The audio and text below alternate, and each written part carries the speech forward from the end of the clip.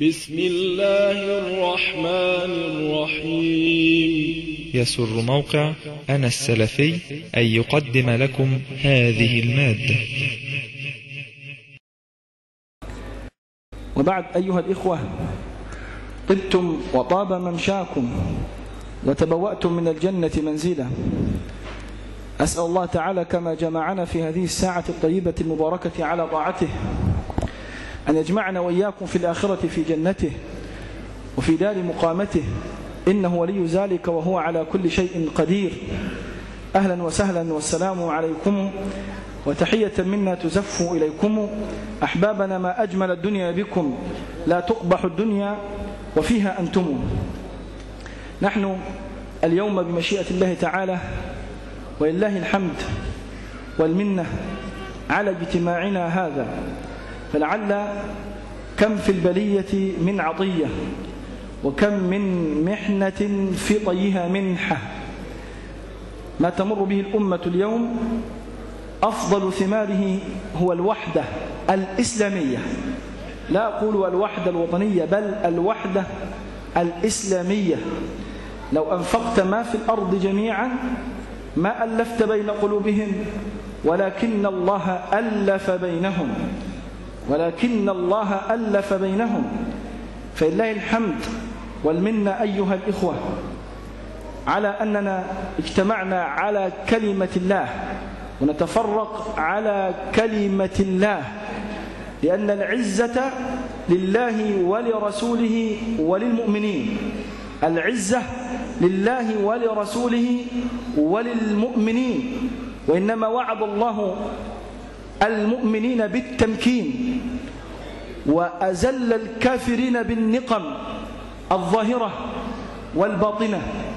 وهو واقع حي في هذه الأيام أنه ما يفعل في الدول العربية والبلاد الإسلامية إنه تمكين الله تعالى لأهل الإيمان في الأرض. لأننا الذين نحمل اسم الله وسنظل إن شاء الله تعالى حاملوه. أما غيرنا الذين هم أهل الشرك والكفر وها هي النكبات تتوالى في اليابان والمهالك. قال الله جل وعلا ولا يزال الذين كفروا تصيبهم بما صنعوا قارعة أو تحل من قريبا من دارهم حتى يأتي وعد الله. فها هي, ها هي أيها الإخوة النكبات تحل بالذين كفروا. أما نحن في نعمة تامة لابد المؤمن أن يعتبر من الواقع الذي يعيش فيه. فنحن إن شاء الله تعالى إلى الخير وإلى الإسلام إن شاء الله تعالى. ونحن اليوم في هذا المجتمع وهذا المؤتمر الطيب. جئنا ومعنا يعني علماؤنا يشاركون في القضاء على هذه الآفات. التي ظهرت في المجتمع وهي آفات قديمة ليست مستحدثة. في آفة المخدرات لعل يعني أخصها آفة المخدرات وآفة الاعتداء والإرهاب للمسلمين والسطو الذي ظهر كثيرا في هذه الأيام. فأعظم موضوع هو وأخطر موضوع أيها الإخوة هو موضوع المخدرات الذي قد أصبح يعني بلوى قد عمت كثيرا من الناس إلا من رحم الله جل وعلا. عمت للأسف الشديد الكبير والصغير الكبير والصغير الذكر والأنثى. عمت كثيرا من الناس هذه البلوى وهي آفة خطيرة في المجتمع. هي تضعف كيان هذه الأمة أخلاقيا. وماديا ومعنويا لأنها تطيش بالعقول. فإذا ما فقد المسلم عقله أيها الإخوة فقد فقد تركيزه وقل إنتاجه. ونحن وخاصة في هذه الأيام التي تتعرض لها مصر المصونة تتعرض لأزمات مالية مما لا شك فيه ولا ريب فيه. ولا بد أن نتفق على ذلك أيها الإخوة. فآفة المخدرات هي أكبر عائق على الإنتاج في مصر في هذه الأيام. لأن العقل إذا طاش فقد التركيز ولا يستطيع أن يؤدي ما عليه من واجبات. فبالتالي الإنتاج لابد أن يضعف ولا يكثر. نعم. فالإنتاج أيها الإخوة هو أهم شيء في بلادنا في هذه الأيام. وهذه الآفة تورث الكسل وتورث الأمراض الجسدية. كتصلب الشرايين وأمراض القلب وأيضا تضعف الأمة معنويا وماديا أيضا تسلب من المسلم رجولته. فربما من أجل المخدرات يقتل يأتي بالمال يشرب المخدرات. فربما من أجل المخدرات تورث الدياثة فيصير ديوث لا يغار على عرضه. لما؟ لأن كل همه أن يأتي بالمخدرات. انتهاك للأعراض قتل سرقة كل ذلك تسببه المخدرات أيها الإخوة. إنه داء عظيم. ولذلك هذا الداء قد ظهر في القرن الثامن الهجري. وعندما ظهر هذا الداء المخدرات في القرن الثامن الهجري اجتمع العلماء وقالوا أن بائع المخدرات التاجر لابد أن يقتل. يقتل. واستدلوا بقول الله جل وعلا إنما جزاء الذين يحاربون الله ورسوله ويسعون في الأرض فسادا أن يقتلوا أو يصلبوا. نعم. إنه يسعى في الأرض فسادا فلا بد أن يقتل. هكذا أيها الإخوة عقاب أليم وضعه العلماء لهذا الذي يستشري الفساد في الأرض. وبعض الناس ربما يتفلسف ويقول أن الخمر محرمة باسمها في القرآن. أما المخدرات كالحشيش والكوكايين وإبر المخدرات وهذه المسميات لم تأتي باسمها ولم تأتي بنصها. نرد على ذلك ونقول إنما جاءت الشريعة الإسلامية أيها الإخوة للحفاظ على خمسة أشياء. الحفاظ على الدين وعلى النفس وعلى المال وعلى العرض وعلى العقل. خمسة أشياء تحافظ عليهم الشريعة الإسلامية وكل الشرائع من قبل الإسلام. تحافظ على هذه الخمسة. وهناك دلائل كثيرة تحرم الحشيش وغيره يعني كما ذكر البخاري قال ابن حجر في صحيح البخاري أن الحشيشة مضرة دينية ودنيوية ودنيوية وذكرها باللفظة هذه. أيضا آه يقول آه شيخ الإسلام ابن تيمية رحمه الله من قال بحل الحشيشة اسمع وهذا كلام شيخ الإسلام ابن تيمية. من قال بحل الحشيشة وغيرها فقد كفر. فقد كفر. الذي يتفلسف ويزعم أن الحشيش حلال. كفره ابن تيمية. ووافقه كثير من علماء عصره ومذهبه من الحنابلة. وافقوه على ذلك. وافقوه على ذلك. فالذي يستحل الحشيشة ويحكم بحلها فقد كفر وما عليه كثير من قول أهل العلم. أيضا نقول بحرمة الحشيشة في حديث النبي صلى الله عليه وسلم وبحرمة المخدرات عامة بشتى أنواعها أن النبي صلى الله عليه وسلم قال ما أسكر كثيره فقليله حرام. وخرج مسلم من حديث أم سلمة أن النبي صلى الله عليه وسلم قال نهى رسول الله صلى الله عليه وسلم عن كل مسكر ومفتر خلي بالك معايا.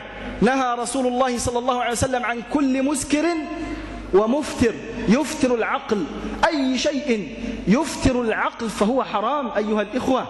وقال صلى الله عليه وسلم والحديث صحيح أيضا كل مسكر خمر كل مسكر خمر. فالأحاديث كثيرة جدا ولا داعي لهذه السفسطة وهذه الفلسفة. فما أحوجنا في هذه الأيام أن نواجه هذه الآفة المدمرة التي تهدد كيان هذه الأمة المادي والمعنوي وتضعف الإنتاج. فهذه الأمة أيها الإخوة وهذه مصر وهي أمانة في رقابكم لن تنهض أبدا. إلا بمساعدة بنيها إلا بسواعد بنيها وإنتاجهم وحرصهم على إقامتها. فلا بد أن نواجه هذه هذه الآفة الظاهرة التي انتشرت في الأرض وكل منكم مسؤول. حتى أنك لو أنت أخا لتاجر المخدرات لا بد أن تنصحه ولا بد أن تستتيبه ولا بد بعد ذلك إن أبى أن تبلغ عنه بنفسك. نعم. لما؟ لأنه يحارب الله ورسوله. تاجر المخدرات محارب لله ورسوله. ويسعى في الأرض فسادا. يقتل الناس. عبد الله ابن عبد الله بن أبي بن سلول. عندما قال أبوه لئن رجعنا إلى المدينة ليخرجن الأعز منها الأذل. ماذا فعل عبد الله؟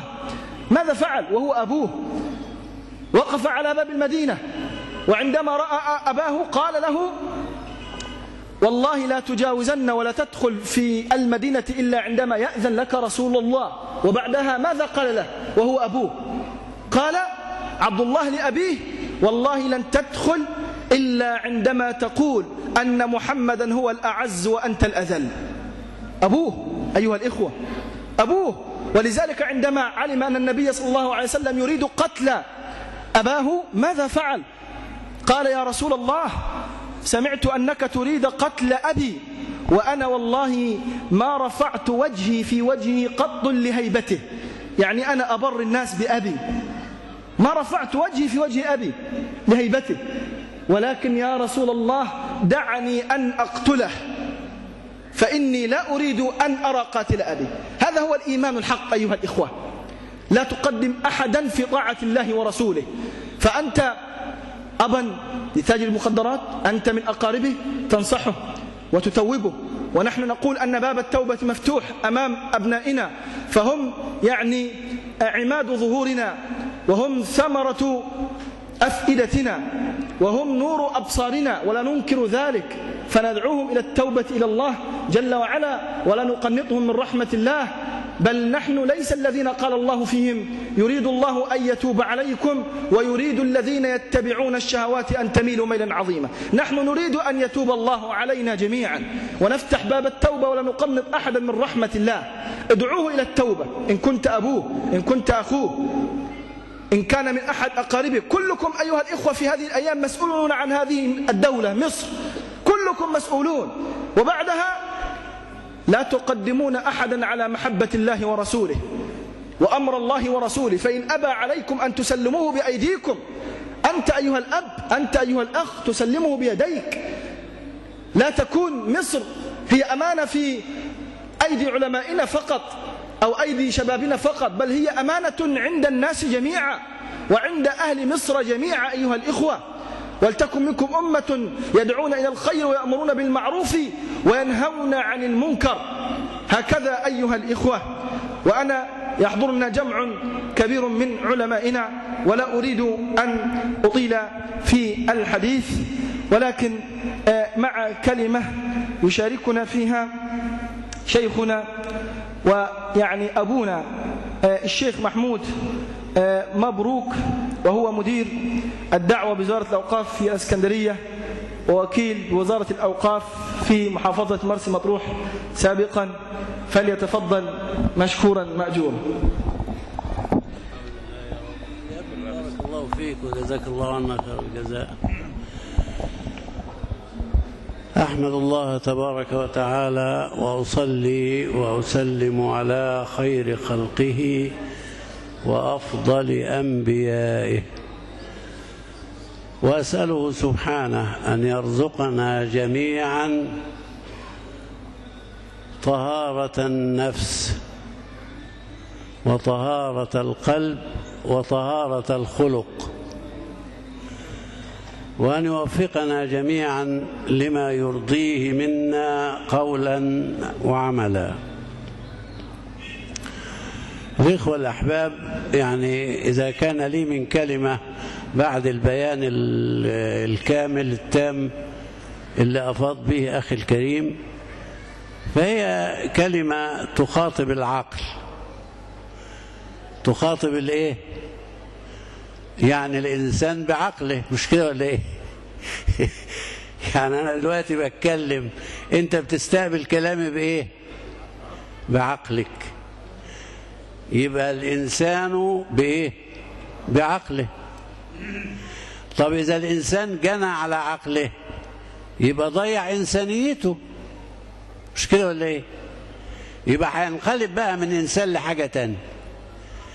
وإذا كان الأخ الكريم قال إن من أهداف أو من أعظم أهداف الشريعة الإسلامية إنها تحافظ على الكليات الايه الكليات الخمس. الكليات الخمس دي يا جماعة الأربعة اللي هي الدين والعرض والمال والنفس. الأربعة ده هم مربوطين بالعقل.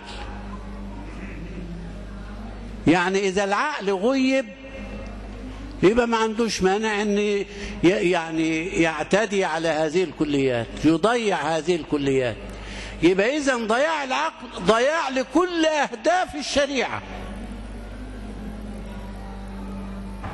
مش أنتوا بتسمعوا أو جماعة اللي بتعلموا زمان زي حالتنا يقول لك إيه؟ العقل أساس التكليف. مش كده ولا إيه؟ اللي عنده عقل هو اللي يكلف. إنما اللي ضاع عقله سقط عنه التكليف. بس ضاع عقله بإيه بقى؟ بشيء خارج مش هو اللي بيضيع عقله بإيده. فالعقل في ميزان الإسلام ومش عارف إذا كان كنت ذكرت حديث زمان كده في لقاء آخر قلت السيدة عائشة رضي الله تعالى عنها وأرضاها سألت الحبيب المصطفى صلى الله عليه وسلم وقالت له يا رسول الله خدوا بالكم الحديث ده قوي بما يتفاضل الناس في الدنيا قال لا يتفاضل الناس الحبيب بقى بيجاوب يتفاضل الناس في الدنيا بالإيه؟ بالعقل. قالت له طيب إذا كان الناس يتفاضلون في الدنيا بالعقل فبأي شيء يتفاضلون في الآخرة؟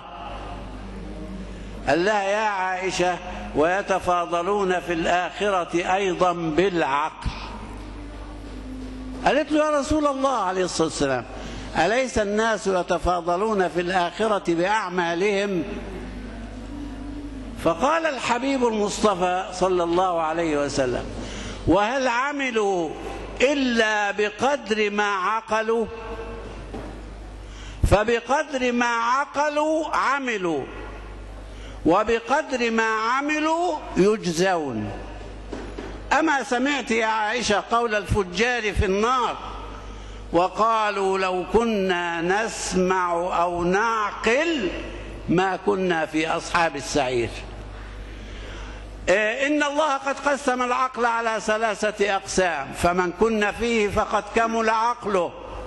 ومن لم يكن فيه جزء منها فلا إيه فلا عقل له. إيه بقى إيه الثلاث أقسام دول؟ قال لك حسن المعرفة بالله وحسن الطاعة لله وحسن الصبر على أمر الله. ما فيش طبعا وقت عشان نشرح هذه الأمور إنما إحنا عايزين نقول يا جماعة المخدرات هتضيع إنسانية هذه الأمة. وإذا ضاعت إنسانية هذه الأمة سقطت من نظر الله سبحانه وتعالى.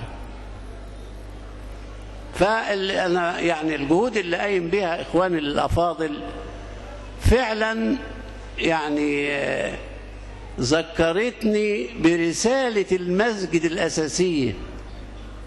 إن رسالة المسجد مش كلام نقوله بين الجدران لا. رسالة المسجد إن هي بتخرج إلى المجتمع إلى الواقع اللي بيعيشه المسلمين ويعالجوا مشاكل هذا الإيه؟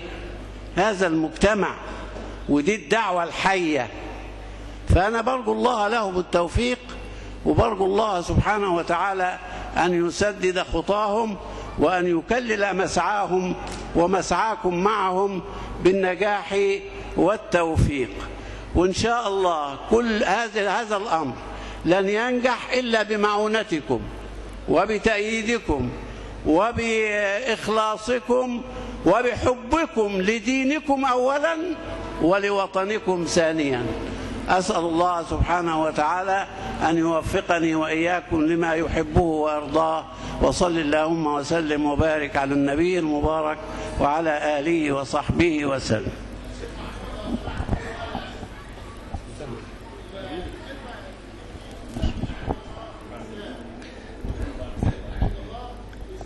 إن شاء الله. لا الأسئلة بعد اللقاء يا شيخ.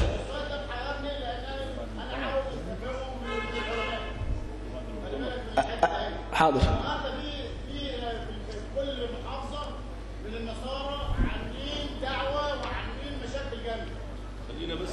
بعد المؤتمر إن شاء الله.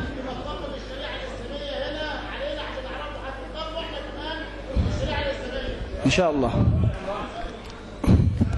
آه، جزا الله خيرا شيخنا الشيخ محمود مبروك وجعل الله في موازين حسناته على ما تكلم على نعمة العقل. نعم. فإذا ما كان العقل سليما فترتفع الأخلاق ويكون المؤمن عزيز بخلقه وصفاته ولله العزة ولرسوله وللمؤمنين. لا تكون عزة إلا بالأخلاق السامية.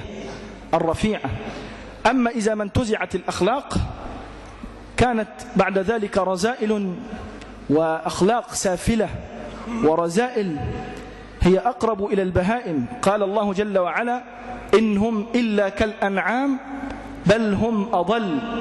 هكذا عندما يتجرد المسلم من عقله إنهم إلا كالأنعام بل هم أضل. ولذلك يعني أيضا في الآخرة ولقد ذرأنا لجهنم كثيرا من الجن والإنس لهم قلوب لا يفقهون بها. كانت قلوبهم في الدنيا فاترة متكاسلة غائبة. نعم.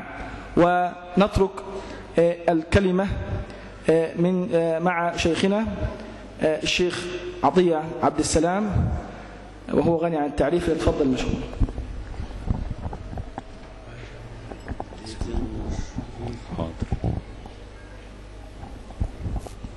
الحمد لله وحده والصلاة والسلام على من لا نبي بعده وأشهد أن لا إله إلا الله وحده لا شريك له وأشهد أن محمدا عبده ورسوله صلوات الله عليه وتسليماته. أما بعد إخوتي في الله أحبتي في اتباع سنة رسول الله صلى الله عليه وسلم. إن المتأمل في أحوال الأمم والمجتمعات والشعوب والحضارات. يجد أنها لم تقدم حضاراتها للعالم إلا من خلال دول آمنة مستقرة ترعرعت فيها عقول وكفاءات وخبرات أهلها على أرض ووطن. انطلقت منه ثمرات هذه الكفاءات الصالحة فسعدت وأسعدت من حولها من البشر. فلا حضارة ولا قيمة للمرء إلا من خلال وطن يؤويه وبلاد تحتويه. ولذلك جبلت النفوس السليمة على حب بلادها واستقرت الفطر المستقيمة على الحفاظ والدفاع عن ديارها. وهذا المعنى الفطري الغريزي قد أقرته الشريعة الإسلامية في كتاب الله وفي سنة رسوله صلى الله عليه وسلم. إذ يقول ربنا تبارك وتعالى في كتابه عن بني إسرائيل ولو أن كتبنا عليهم أن اقتلوا أنفسكم أو اخرجوا من دياركم ما فعلوه إلا قليل منهم فجعل الله عز وجل الخروج من الأوطان يساوي قتلا لهذه الأنفس والأبدان. وقال الله تبارك وتعالى ولو أن ولو ولولا أن كتب الله عليهم الجلاء لعذبهم في الدنيا. فجعل الله عز وجل الجلاء يساوي تعذيبا في الدنيا. وما ذلك إلا لتأثير تأثير خروج الإنسان عن وطنه مضطرا بسبب افتقاد الأمن والأمان والتأثير النفسي السيء جدا على الإنسان يساوي تعذيبا في الدنيا ويساوي قتلا في وطنه. وهذا رسول الله صلى الله عليه وسلم يعلن عن حبه لوطنه وبلده مكة لما خرج منها صلى الله عليه وسلم يقول والله إنك لأحب البقاع إلى الله وأحبها إلي ولولا أني أخرجت منك ما خرجت صلى الله عليه وسلم. وقال صلى الله عليه وسلم لولا الهجرة لكنت امرأ من الأنصار. ولماذا الهجرة؟ لأن الهجرة ترك بسبب ثوابها الأنصار أوطانهم ديارهم أموالهم أبناءهم نساءهم. فكان الأمر عزيزا جدا لكنه لما كان لله عز وجل رفع الله أمر هذه الهجرة التي تحملوا بسببها شيئا عظيما. وجعل الله عز وجل المهاجرين فوق الأنصار. بسبب أنهم تركوا الأوطان والديار. فقال الله عز وجل في القرآن الكريم والسابقون الأولون من المهاجرين أولا والأنصار ثانيا. فجعل الله المهاجرين أولا على الأنصار. وما ذلك إلا لما تجشموا من مشقة مفارقة الأوطان والديار. هذه غرائز فطرية لا تنكر حساباتها وقدرها والتي لا تعلو عند المؤمن على حساب الدين والإسلام والمسلمين. فلا عصبية لتراب وطين على حساب العقيدة والدين. فالحفاظ على الأوطان دين وإيمان. الحفاظ على الأوطان دين وإيمان. كما أن التخريب فيها فساد وإجرام. وقد تتابعت دعوات الأنبياء والمرسلين بالأمر بالصلاح والإصلاح والنهي عن الفساد والإفساد بين العباد. فهذا القرآن الكريم يوضح لنا نبيا بعد نبي صالح صلى الله عليه وسلم. ماذا يقول لقومه؟ يقول فاذكروا آلاء الله نعم الله ولا تعثوا في الأرض مفسدين والعثو في اللغة العربية هو السعي بالشر والباطل والإفساد مذكور في الآية ولا تعثوا في الأرض مفسدين. شعيب صلى الله عليه وسلم يقول لقومه ولا تبخسوا الناس أشياءهم ولا تعثوا في الأرض مفسدين. موسى صلى الله عليه وسلم يقول لأخيه النبي هارون صلى الله عليه وسلم اخلفني في قومي وأصلح. ولا تتبع سبيل المفسدين. أهل الخير والصلاح في قوم موسى لقارون يقولون له وابتغ فيما آتاك الله الدار الآخرة. ولا تنس نصيبك من الدنيا وأحسن كما أحسن الله إليك ولا تبغي الفساد في الأرض ولا تبغي الفساد في الأرض إن الله لا يحب المفسدين ومن أعظم أنواع الفساد في الأرض بعد الشرك بالله عز وجل قتل النفس وإراعة الآمنين من المواطنين مسلمين كانوا أو ذميين. هذا من الفساد في الأرض. قال الله عز وجل في القرآن الكريم من أجل ذلك كتبنا على بني إسرائيل أنه من قتل نفسا بغير نفس أو فساد في الأرض فكأنما قتل الناس جميعا. قتل نفس تساوي قتل الناس جميعا في أحكام الشريعة. ومن أحياها من سعى في استنقاذ هذه الأنفس وفي حمايتها فكأنما أحيا الناس جميعا فما أعظم أجر من تعاون على حماية هذه الأنفس البشرية.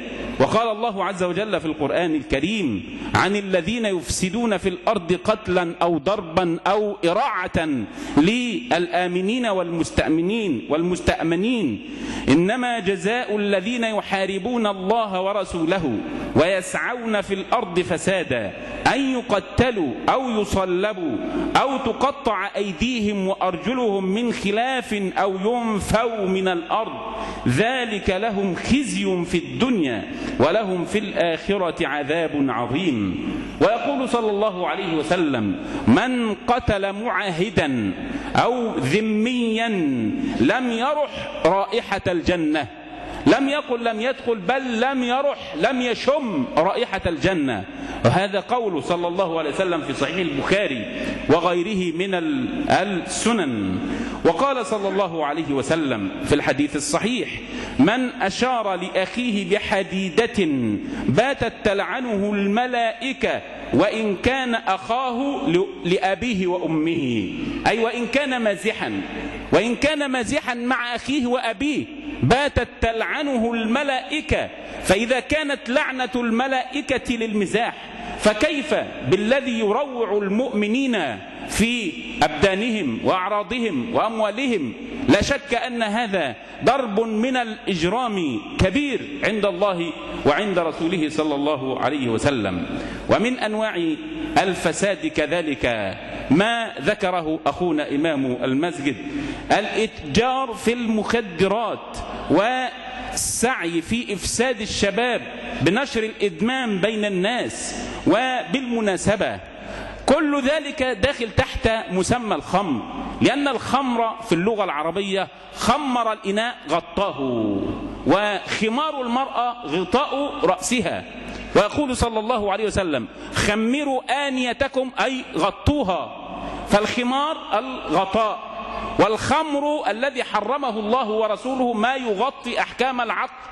فكل ما يذهب العقل يسمى خمرا سواء كان سائلا أو صلبا أو مائعا أو يشم أو بأي طريقة يذهب بالعقل فهو خمر لأنه ألغى العقل وألغى أحكامه. والله عز وجل يقول في القرآن الكريم إنما الخمر كل ما يذهب بالعقل إنما الخمر والميسر والأنصاب والأزلام رجس من عمل الشيطان. رجس خبث من عمل الشيطان. فهؤلاء الذين يتاجرون فيما يذهب به بالعقول يتاجرون في أعمال وأخباث الشياطين. عياذا بالله. فهم شياطين إنس يعملون بمخططات شياطين الجن. نسأل الله السلامة والعافية. فالخمر محرم في القرآن الكريم وفي سنة رسول الله صلى الله عليه وسلم. يقول صلى الله عليه وسلم كل مسكر خمر. كل ما يذهب بالعقل خمر كل مسكر خمر وكل خمر حرام. والنبي صلى الله عليه وسلم يوضح أن العبد إذا وصل إلى درجة الإدمان فيا له يا له من عذاب في النيران. عياذا بالله. روى الإمام مسلم أن رسول الله صلى الله عليه وسلم قال إن حقا على الله إن حقا على الله لمن يدمن المسكرة أن يسقيه الله عز وجل من طينة الخبال. من طينة الخبال. يقول الصحابة وما طينة الخبال يا رسول الله؟ يقول صلى الله عليه وسلم عصارة أهل النار. فعفنوا ونتنوا أهل النار. المتبقي بعد حريقهم هذا هو عصارة من يدمن الخبيث في الدنيا. فمن يدمن الخبيث الجزاء من جنس العمل. يكون شرابه أخبث ما يكون في نار جهنم عياذا بالله. فحذاري أن يتعرض شبابنا. مقدرات قوة أحيائنا وديارنا يضيعون عقولهم وجهودهم وطاقاتهم خلف هذه الوسائل التي تهدر الطاقات وتدمر الشباب والشابات. نهيا لهؤلاء أن يستيقظوا أنفسهم. إن أحياءكم في حاجة إليكم. إن إخوانكم في حاجة إليكم. أنتم أرفع وأعلى من أن يلعب الشيطان بعقولكم وبأعمالكم. نحن نمد أيدينا إليكم لنتعاون معكم ولنساعدكم في سبيل الله عز وجل لتكونوا شرفاء مثل آلاف ومئات الآلاف من الشباب الشرفاء الذين يسكنون هذه البلدة الكريمة فنهيب بالمسلمين كبارا وصغارا أن يتعاونوا معنا جميعا على أن تنتهي مثل مثل هذه الظواهر من الفساد ومن أنواع الفساد. كذلك ما ينتشر من بعض مرضى النفوس من الشباب من أعمال سلب ونهب وسطو وهذه الأعمال التي حرمها الله ورسوله صلى الله عليه وسلم. يقول النبي صلى الله عليه وسلم كل المسلم على المسلم حرام ماله وعرضه ودمه كل ذلك حرام إن دماءكم وأعراضكم وأموالكم حرام عليكم كحرمة يومكم هذا في بلدكم هذا في شهركم هذا. قاله النبي صلى الله عليه وسلم يوم حجة الوداع فحرمة المسلم حرمة عظيمة.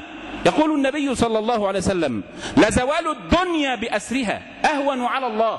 من دم المرء المسلم لزوال الدنيا بأسرها أهون على الله. من دم امرئ مسلم فليتق الله عز وجل. شباب شباب يضيعون آخرتهم من أجل شيء فان ليتقوا الله سبحانه وتعالى في دنياهم قبل أخراهم. من أجل هذه المظاهر طلبت منا المؤسسات الرسمية كالقوات المسلحة وغيرها أن نتعاون جميعا. كل يمد يد التعاون لكي نحفظ أمننا واستقرارنا.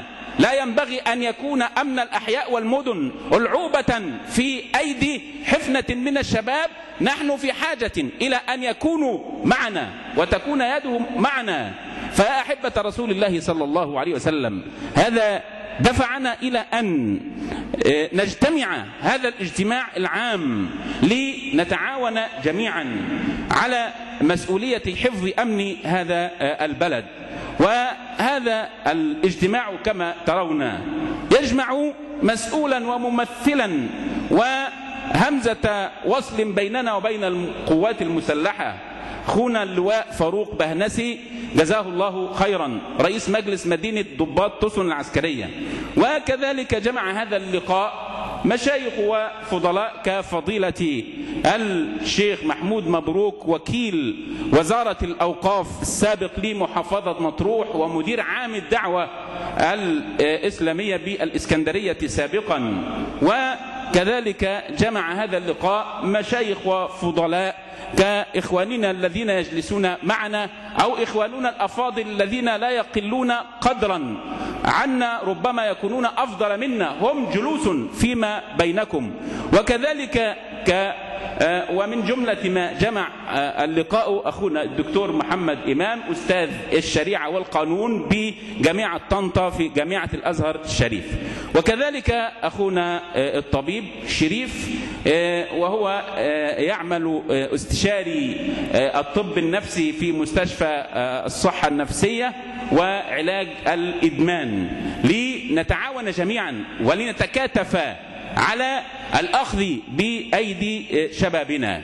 واقترح من الاقتراحات التي نريد أن نتعاون بها جميعا أن ينشأ لجنة مركزية من خلال الجمعية الخيرية بهذا المسجد الغربي.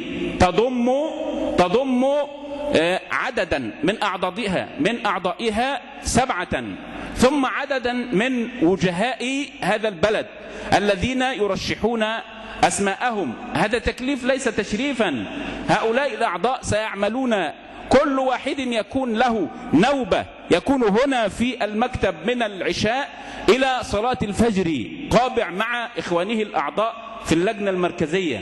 فنريد عددا كبيرا من أهل البلد يرسلون أسماءهم وأرقام تليفوناتهم واقتراحاتهم مع الأخ جابر المهندس جابر فرعاس رئيس الجمعية الخيرية. أين هو؟ مهندس جابر فين؟ تفضل تعال. تفضل. تفضل. جابر أبو عمو تفضل.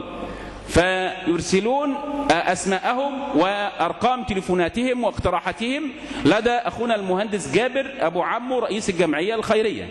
هذا الدور اللجنة المركزية ويكون كذلك مع سبعة أعضاء للجمعية سبعة من المشايخ والدعاة واحد من الأعضاء واحد من المشايخ واثنين أو ثلاثة من وجهاء البلد يوميا موجودين في مكتب الجمعية الذي سيذاع أرقام هذا المكتب على جميع أهل المعمورة. من نابه شيء أو ابتلي بشيء في أثناء الليل سي- سيتصل بهذه الأرقام. هذا جزء. الجزء الثاني وهو الشباب.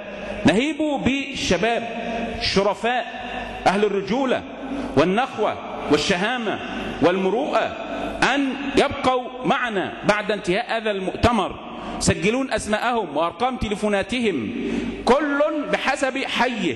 فنريد في كل حي في كل شارع ما لا يقل عن ثلاثين من الشباب الذي يكون جاهزا في أي لحظة لإغاثة الملهوف ونجدة المكروب بمنتهى السرعة. يكون على رأس كل ثلاثين ثلاثة أو أربعة لا ينامون الليل بتليفوناتهم حتى نتجاوز هذه الأزمة على خير بحيث نغطي هذا البلد. لا يكون هناك حي من أحيائها ولا شارع ولا طريق من طرقاتها إلا وفيه من, من الشباب أهل, الش أهل الشهامة والرجولة والمروءة الذي تسهر عينه على حماية ال- المواطنين. ولا شك أن هذا أجره عظيم جدا. يقول النبي صلى الله عليه وسلم في آه، الحديث آه، الصحيح. لرباط يوم وليلة خير من الدنيا وما فيها. لرباط يوم وليلة خير من الدنيا وما فيها. فأجر الرباط في سبيل الله عز وجل أجر عظيم في كتاب الله وسنة الرسول الأمين صلى الله عليه وسلم. فيا أحبة رسول الله صلى الله عليه وسلم مسؤولية حفظ أمن هذا البلد مسؤوليتنا جميعا كبارا وصغارا. نحتاج لحكمة الشيوخ وقوة الشباب. وبهذه العناصر جميعا نصل إن شاء الله عز وجل إلى بر الأمان. وكان هناك كذلك توصيات من هذا المؤتمر طبعت مسبقا لكي تكون بمثابة التو- التوجيه المنظم لهذا العمل الشعبي الذي يجمع جميع طبقات أهل البلد وأفرادها هذا العمل آه، آه، آه، صدر عن الجمعية عبارة عن سبعة بنود ومدون تحته آه، رقم تليفون آه، الجمعية.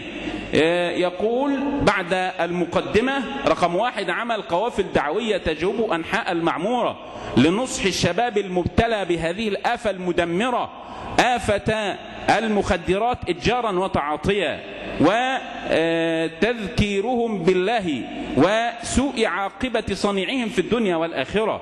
اثنين إعادة عمل اللجان الشعبية وفتح باب التطوع فيها عن طريق المساجد.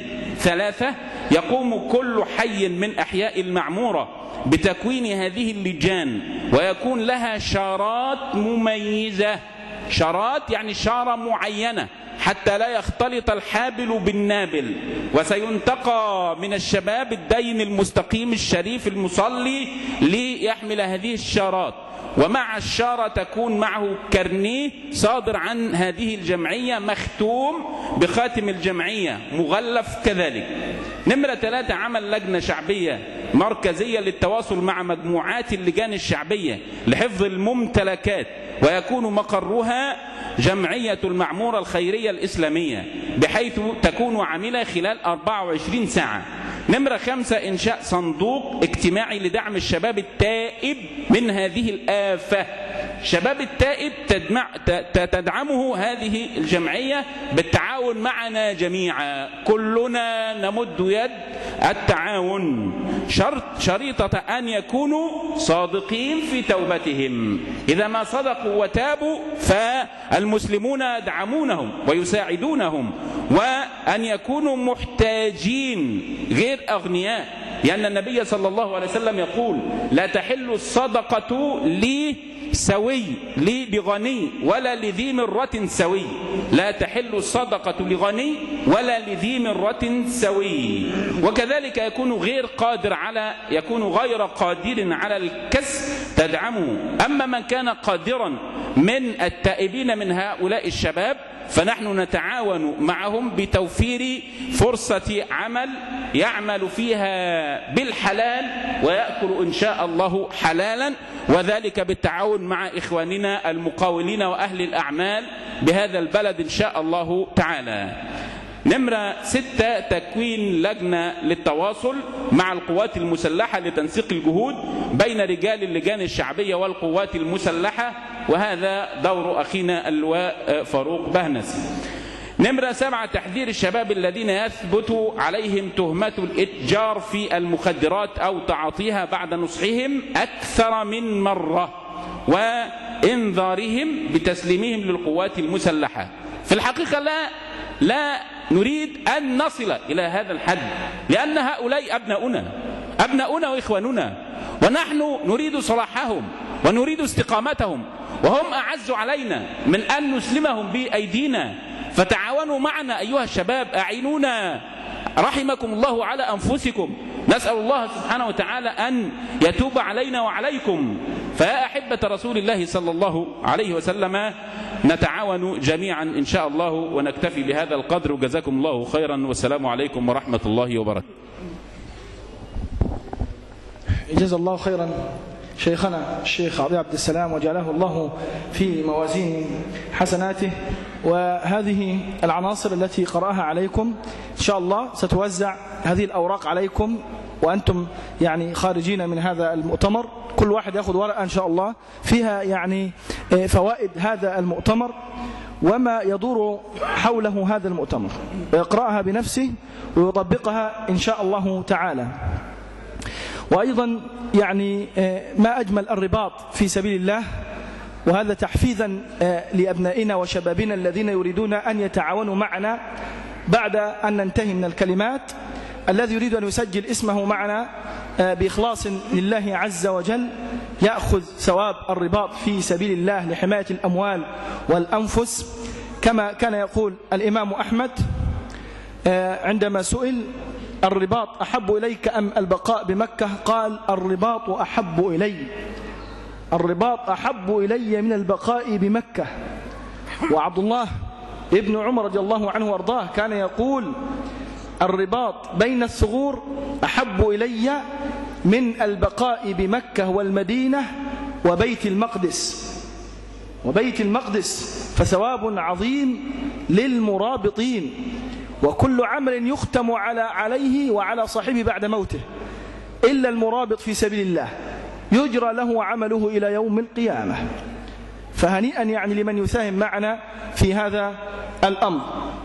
وأيضا يعني ربما قد سأل أخانا سؤالا يعني لا نجاوب عليه إجابة كافية إلا نترك الإجابة لشيخنا الدكتور محمد الإمام.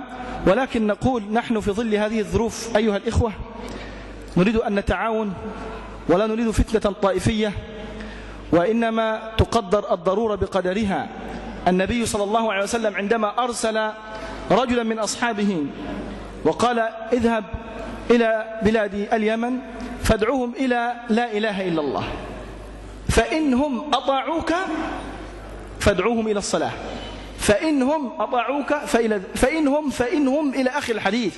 يعني دلوقتي إحنا أهم حاجة في التعديلات الدستورية أن نحافظ على أن القرآن هو المصدر الأول في التشريع ونترك يعني الإجابة كافية وشافية لشيخنا الشيخ الدكتور محمد الإمام أستاذ الشريعة والقانون بجامعة طنطا يحدثكم عن أهم محور وأهم فكر يدور في أذهانكم ألا وهو ما موقف المسلم تجاه التعديلات الدستورية؟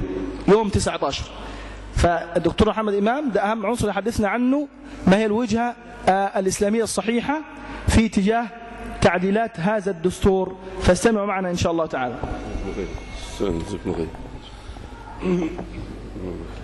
الحمد لله وأشهد أن لا إله إلا الله وحده لا شريك له. أشهد أن محمدا عبد الله ورسوله. صلى الله عليه وعلى آله وصحبه وسلم تسليما كثيرا. وبعد فاتساقا مع موضوع المؤتمر والذي كان قد اقترحه إخواننا نحو تطهير البلاد من المخدرات وبالنسبة لنا في هذا المكان قالوا نحو معمورة خالية من المخدرات. فليكن شعارنا في هذا المؤتمر وفي هذه الآونة كذلك. نحو معمورة خالية من المخدرات. إذا كان يعني الأخ الفاضل الشيخ عطية يتكلم عن بعض الجوانب الوقائية خصوصا لكن الأمر لا يتوقف عند الوقائية وإنما لأننا ابتلينا بهذا الأمر. فإذا لابد من العلاج والعلاج بالنسبة للطب سيكلمنا عنه ويحدثنا عنه الأخ الفاضل الدكتور شريف درويش. لأنه أهل الخبرة في هذه المسألة. ولكننا نقول إن هناك من الجوانب التعاونية والمالية التي ظهرت في الآونة الأخيرة من الناس تدل على أصالة معدن هذا الشعب الكريم ونفاسته. وأن الناس كانوا يقتطعون من أقواتهم من أجل إطعام إخوانهم الفقراء. مع أن كثيرا من الناس حيل بينهم وبين أموالهم. حتى الأغنياء أغلقت البنوك وحيل بين الناس وبين الأموال والأحداث حدثت فجأة وفوجئنا بأن الناس حتى أهل الأموال ما معهمش فلوس. فيعني طبعا إضافة للفقراء إضافة لأهل الرواتب والمعاشات. قطعت عنهم هذه الأشياء كلها. فوجدنا بفضل الله عز وجل تنافسا كريما في هذه المسألة قل أن تجد له نظيرا إلا عند المسلمين. ومن هذا المنطلق نقول إن المواساة في اجتثاث هذا الداء والقضاء عليه لا تخل بحال من الأحوال عن المواساة من أجل المأكل والمشرب. فنحن نحتاج إلى أن نتعاون في هذه الناحية. نحتاج إلى معاونة. نحتاج إلى أن يكون عندنا يعني رصيد مالي نستطيع من خلاله أن ننفق في هذا الجانب. نحتاج إلى أن نفتح الباب الآن من الليلة لإخواننا, لإخواننا جميعا أهل اليسار وغيرهم أن يقوموا بالتبرع وبسخاء. من أجل أن يكون هذا التبرع في هذا اليوم المشهود لبنة من أجل إنشاء مركز أو مصحة علاجية تقوم بالإشراف على علاج الذين ابتلوا بهذا الداء العضال وهو تعاطي المخدرات أو الابتلاء بها عن طريق أي مسلك من المسالك. فلذلك من هذا من هذا المقام ومن هذا المكان أنا أبادر بدعوة إخواني وأظن أن جميع إخواني الشيوخ والأفاضل يشاركونني في ذلك. أدعو جميع الناس الآن إلى التبرع بسخاء من أجل إنشاء كما قام أهل المعمورة بإنشاء مركز علاج الكلى وغسلها وغير ذلك نحتاج إلى إنشاء مركز لعلاج الإدمان لأن هذا أمر عمت به البلوى. وإذا كنا نقول أن الأمر بعيد عنا فنحن في الحقيقة سنصير مثل النعامة التي قد تدفن رأسها في الرمل مخافة أن تقتل ثم جسدها كله في العراء. الأمر ليس بعيد الأمر ليس بعيد عن أي أحد. وأولاد المسلمين هم أولادنا والمسلمون هم إخواننا. ونحن والله نأسى ونحزن لما يصيبهم. وبالتالي لا بد من المساهمة في هذا الأمر وبسخاء. ومن باب التعاون على البر, على البر والتقوى كما قال الله سبحانه وتعالى وتعاونوا على البر والتقوى وقال النبي صلى الله عليه وسلم مثل المؤمنين في توادهم وتراحمهم كمثل الجسد الواحد إذا اشتكى منه عضو تداعى له سائر الجسد بالسهر والحمى وقال صلى الله عليه وسلم المؤمن للمؤمن كالبنيان يشد بعضه بعضا وشبك بين أصابعه صلى الله عليه وسلم. فلا بد من هذه المسألة ولذلك نحن تماشيا مع ما جاء في توصيات المؤتمر التي وضعها إخواننا في الجمعية نحو التوصية بإنشاء صندوق اجتماعي لدعم الشباب التائب من هذه الآفة. نقول لا بأس كذلك بإنشاء صندوق اجتماعي لعلاج الشباب الذي ابتلي بهذه الآفة. لماذا لا يكون الصندوق شاملا دعم الشباب وكذلك شاملا علاج الشباب الذين ابتلوا بهذا الداء العضال الذي نسأل الله عز وجل أن يعافي الأمة منه؟ لأن في الحقيقة الشاب إذا ما ابتلي بهذا الأمر والرجل أو المرأة إذا ما ابتلوا, بهذا الأمر فتجد أنه لا قيمة له في الحياة في الحقيقة أن هذا هذه المخدرات كما سيحدثنا الدكتور شريف تؤدي إلى مسخ شخصية الإنسان تماما وتحوله إلى غول وحش وربما تؤدي في النهاية إلى تحوله إلى إنسان لا قيمة له إنسان ضعيف هزيل وتؤدي به في النهاية إلى الهلاك. عياذا بالله فضلا عن ضياع الدين الذي هو أعظم مقصد من مقاصد الشريعة وهو حفظ دين الله حفظ دين المرء عليه. فضلا عن ضياع الدين لا صلاة ولا عبادة ولا شيء من هذا القبيل. فلذلك نحن ندعو من هذا المقام إلى الاعتناء بهذه المسألة والبدء بها من هذا المؤتمر. طبعا نحن نقول هذا الكلام ونؤكد عليه. والله عز وجل يقول لقد كان لكم في رسول الله أسوة حسنة والنبي صلى الله عليه وسلم يقول من سن سنة حسنة فله أجرها وأجر من عمل بها إلى يوم القيام وأنتم أهل هذا البلد الكريم وأهل هذا الحفل الطيب أنتم ستكونون بإذن الله عز وجل بمثابة القدوة والأسوة لغيركم من الأحياء. عندما تتعاونون في هذا الجانب نكون بفضل الله عز وجل بمثابة الأسوة والقدوة واليد العليا خير من اليد السفلى والمؤمن القوي خير وأحب إلى الله من المؤمن الضعيف وفي كل خير أو كما قال صلى الله عليه وآله وسلم. فهذا يعني أنا لا أريد أن أطيل ولا أن أستقصي لأن أخونا فضيلة الشيخ محمد طلب مني تعليقا حول التعديلات الدستورية والإجابة على سؤال الأخ أحمد عمران لداري يعلي صوته وزعق في المسجد. فعايزين نجيب على سؤاله عشان ما يعليش صوته ونريحوه. وفي نفس الوقت إيه؟ وفي نفس الوقت نقول كلام بسيط جدا عن التعديلات الدستورية. التعديلات الدستورية هي انتقال من وضع في غاية السوء والكآبة. والظلمة والظلام والظلم إلى وضع لا شك أنه قريب إلى إلى الحسن. لا نستطيع أن نقول أنه وضع حسن ولا ولا ولا وضع متميز ولا وضع أبدا. ولكن كما علمنا الشيوخ بعض الشر أهون من بعض. وتكثير الخير والصلاح عبادة وتقليل الشر والفساد عبادة. والتعديلات دي متعلقة بسبع مواد. متعلقة بسبع مواد كانت كلها إجرام وظلم وبغي وتكريس لشخصنة الأمة كلها بحيث تسهر الأمة وتقوم وتحيا تسبح وتقدس باسم الحاكم الذي يحكمه. فجاءت هذه الإيه؟ التعديلات وألغت هذه المسألة ألغت هذه الأشياء. وجعلت الأمر بفضل, بفضل الله عز وجل واسعا ومنها كذلك أنها يعني خففت من كثير من الضغوط التي كانت تقع على الإسلاميين خصوصا من إلغاء ما يتعلق بقانون الإرهاب وغير ذلك. هذا كله بفضل الله عز وجل أدى إلى تخفيف الضغوط على إخواننا العاملين في الساحة الدعوية سواء من يعملون في الدعوة وتبليغها أو من يعملون حتى في العمل السياسي الإسلامي.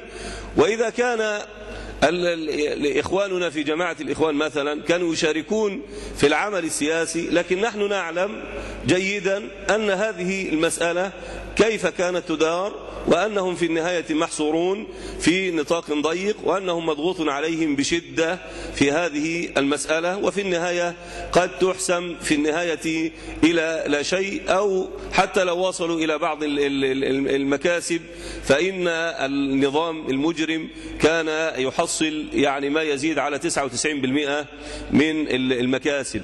فالأمر بفضل الله سبحانه وتعالى فيه بحبوحة وفيه عافية بدلالة هذا الاجتماع وبدلالة الاجتماعات والمؤتمرات والمنتديات التي يعقدها الدعاة في كل المحافظات. ما كان أحد يستطيع أن يخرج أحيانا من بيته. بعض الناس بقى لها سبع سنين وعشر سنين لا تتكلم بكلمة واحدة. بكلمة واحدة. بالأمس يعني أنا أتيت لتو من القاهرة الآن. بالأمس كان هناك درس في مسجد العزيز بالله كان يحضره ما يزيد على خمسة ألاف إنسان. خمس درس علم درس عادي لأحد الشيوخ. كان يحضره ما يزيد على خمسة ألاف. ده ما كان موجود. هذا الشيخ وغيره من الشيوخ منذ ما يزيد على سبع سنوات لا يخطب خطبة ولا يتكلم بكلمة ولا ينصح بنصيحة ولا يخرج من بيته إلا لحاجته كالصلاة وغيرها فقط. فالحمد لله الآن الأمر واسع جدا. هذه التعديلات بإذن الله عز وجل ستجعل الأمر يصير إلى إلى خير. طبعا الصورة مش هي المرضية. لكن نقول لمن يقول لا للتعديلات الدستورية نقول أن من يحمل هذه الدعوة ويحمل لواءها هم الليبراليون. في الحقيقة عامة الليبراليون هم الذين يحملون لواء هذه الدعوة. أننا نخرج نقول لا للتعديلات الدستورية حتى يظل الأمر فيها فوضى كما إيه؟ كما ترون. ليه؟ لأن غيظهم جدا أن الدولة تبقى هويتها إسلامية. طب أنتوا يا ليبراليين بقالكوا قرابة 150 سنة ماسكين البلد وبتديروه. أنتم الذين تقومون بإدارة البلد. لم يكن هناك تدخل لأي فصيل إسلامي على الإطلاق. من قبل إلغاء الخلافة. معلوم أن الأحزاب السياسية الليبرالية العلمانية التي تريد أن تحول مصر وغيرها من بلاد الإسلام إلى دولة ليبرالية مثلها مثل أمريكا. أنتم تحكمون منذ 150 سنة على الأقل. إن لم يصل إلى 200 سنة. حتى مع وجود الخلافة كان معروف كيف تم تنحية الشريعة والمحاكم المختلطة في من أيام محمد علي. معروف المسألة دي. أنتم منذ 200 سنة أو قرابة 200 سنة تحكمون. ماذا جنت البلاد؟ ماذا حصلت الأمة؟ هل استفادت الأمة على صعيد الدنيا؟ أبدا. المسلمون إذا ذكر المسلمون ذكر الجهل ذكر التخلف ذكر المرض ذكر الفقر ذكر كل شيء عند الغربيين. لو ذكر المسلمون ذكر كل هذه ذكرت كل هذه الأمراض. فلذلك نقول للليبراليين كفوا أيديكم عن التعديلات الدستورية. خليكوا على جنب المرات. ليه بقى التعديلات الدستورية مزعلهم ليه؟ التعديلات الدستورية دي تتناسب مع سنة الله عز وجل في التدرج في التعامل مع الأحداث. مش معقول يعني شوية شباب على شوية كبار على شوية بنات طلعوا وعملوا ثورة يا مشايخ وعملوا مش عارف شوية شو إن إحنا خلاص بجرة قلم كده إلغي القوانين والدساتير وخلي الإيه الشريعة الإسلامية. هل سنة ربنا سبحانه وتعالى في الكون كده؟ سنة ربنا سبحانه وتعالى مع الأنبياء والرسل كانت كده؟ لا المسألة بتمشي بالتدرج. بيتدرج الناس خاصة إذا كان الناس قد ورثوا الإسلام وجهلوا معانيه. فهي طبعا التدرج ده هيفيد كثيرا أهل البلد الذين يحبون الإسلام. الليبراليون هؤلاء لا يكلمون إلا أنفسهم في الحقيقة. هتتفرج عليهم في الانتخابات. وهتتفرج على الأحزاب الكرتونية دي في الانتخابات. وهتتفرج على الأشخاص والشخصيات اللي عاملة إن هي بتنظر للأمة وبتتكلم مش عارف إيه وبتتصدر. وسائل الإعلام والصحافة الآن هتتفرج عليهم في الانتخابات. خدت بالك أنت؟ فلذلك نقول لهؤلاء كفوا أيديكم عن التعديلات الدستورية لأن التعديلات الدستورية تمشي مع سنة الله سبحانه وتعالى في الكون نحو التدرج ونحن بصدد حدث ضخم جدا دي مقدماته ودي إرهاصاته دي مقدمات الحدث. الدنيا هتتغير. وعايز أقول لو حسن مبارك رجع تاني برضه مش هتبقى الدنيا زي ما كان هو موجود. واضح؟ الكلام واضح وانتوا عارفين أكثر من المسألة دي. لكن هؤلاء يخشون كله بيتكلم لو عملوا انتخابات سريعة مين هيكتسح الساحة؟ ها؟ بس الجواب واضح. هم خايفين جدا. فهم عايزين يقعدوا. يتناولوا السلفيين والإخوان. امبارح الجرايد كلها بتتكلم بالبنط العريض كده في النبأ. فتنة السلفيين. شوية الإخوان مش عارف إيه. شوية مش عارف إيه. و- وكاميليا شحاتة وموضوع إيه؟ وعاملين وأطفيح. وعاملين مشاكل في الكنيسة. وبيحرضوا الناس من أجل إيقاع الفتنة بين العاملين في الساحة الإسلامية وبين الشعب وبين القوات المسلحة. وطبعا كما تعلمون بفضل الله عز وجل القوات المسلحة بموقفها طبعا النبيل جدا الذي لا ينسى وجزاهم الله خيرا. ولا شك أنهم هم والشعب يدا واحدة وهم درع الأمة في حقيقة الأمر. كان لهم دور كبير وهم علموا بفضل الله عز وجل من الذي وعرفوا من الذي يقوم بالتحريض ومن الذي يقوم بإشعال الفتن ومن الذي يقوم بالبناء. الآن هم يتعاونون مع من يقوم بالبناء. مع من؟ مع الإسلاميين. لا يتعاونون إلا معهم. الآن تجد الدعاة في كل مكان يطوفون مع رجال القوات المسلحة من أجل إطفاء الفتنة. فلذلك نحن نقول للليبراليين كفوا أيديكم عن التعديلات الدستورية. التعديلات هم هم يريدون يقول مصر, مصر تستحق دستور جديد. مصر مش عارف تستحق دستور جديد. ليه؟ يطولوا المسألة يشنوا الحملة ينظموا الصفوف هم طبعا يملكون ناصية الإعلام ويملكون وبالمناسبة أنا أبشركم بأن وزارة الإعلام دي هتتلغى هتتلغى خالص من أولها لآخرها مش هيبقى فيه وزارة إعلام لأن الوزارة ديت أصلا لا تقوم إلا بالتكريس ل والعمل من أجل النظام الموجود فقط تتكلم بلسان النظام. فإن شاء الله نبشركم بأن هذه الوزارة ستذهب إلى الجحيم. هذه الوزارة التي أفسدت على الناس دينهم وقلوبهم وعقيدتهم وأفسدت عليهم أخلاقهم وأفسدت عليهم كل شيء. المهم أن هذه المسألة هذه قضياتنا. نحن نتدرج مع سنة الله سبحانه وتعالى في الكون. نتعامل مع التعديلات الدستورية؟ سنقول نعم بإذن الله تعالى. كما قال الشيوخ وكما قال الأفاضل في كل مكان سنقول نعم للتعديلات الدستورية. لماذا؟ لأن الناس الذين وضعوا هذه التعديلات التزموا بإرادة الأمة وحافظوا على هوية الدولة أنها دولة إسلامية. دين الدولة الإسلام هكذا تقول المادة الثانية دين الدولة الإسلام. و اللغة العربية لغتها الرسمية ومبادئ الشريعة الإسلامية هي المصدر الرئيسي للتشريع. وما حدش يقول يا إخوانا المصدر الرئيسي يعني ما ليه ما يقولوش المصدر الوحيد؟ لا برضه المصدر الرئيسي ده أحسن وأبلغ. المصدر الوحيد لأن أنت برضه عندك قوانين تحتاج أنت أن تجتهد لها. قوانين العاملين في الدولة الموظفين قوانين المرور قوانين البيئة هذه القوانين الإدارية كلها تحتاج إلى نظر واجتهاد. وبالتالي تقوم يقوم ال- ال- الذين يقومون بسن هذه القوانين بالاجتهاد والنظر ولكن في ضوء النص الضابط الكبير اللي هو مبادئ الشريعة الإسلامية المصدر الرئيسي للتشريع. بعض إخواننا كان بيقول المادة دي ما كلهاش قيمة المادة دي كذا الكلام ده غلط. هذه المادة بفضل الله عز وجل منعت البلد بفضل الله عز وجل من الانهيار التشريعي. منعت أن تكون مصر في الحقيقة الآن دولة علمانية قانونية صرف. هم العلمانيون نفسهم أعضاء البرلمان وقادة ال- ال- النظام كانوا بيقولوا هاتوا أي نص أي قانون صدر بعد شهر خمسة واحد وثمانين يخالف مبادئ الشريعة الإسلامية. يوم يجي الواحد يقول طب ما هو قانون الإيه؟ الختان طب ما قانون منع الختان طب ما هو قانون تحديد سن الزواج. أقول لك إن هذه المسألة قد يكون فيها نوع من الأخذ والرد وهم قد استفتوا بعض من ينتسبون للعلم والمشيخة وقال البعض أنه لا بأس أن يقوم ولي الأمر كما يقولون. بمنع بعض المسائل أو بتضييق بعض المسائل رعاية للمصلحة الشرعية طالما أن هذا لا يمس عقيدة الناس.